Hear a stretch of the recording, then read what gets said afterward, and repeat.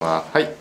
ここが入院受付会計というあのところです。手術室の前のところになって、外来の、えー、と会計とかのすぐ奥のところになります。で、ここは、えー、と患者さんが、まあ、入院するとき、そして、まあ、退院するときに、えー寄ってもらって、お会計をしてもらって、で、あの、帰っていただくっていうような形式の場所になります。なので、まあ、ここで、例えば朝とか、ここの緑の椅子で、ま、座って待ってもらうなどの時間がある場所になります。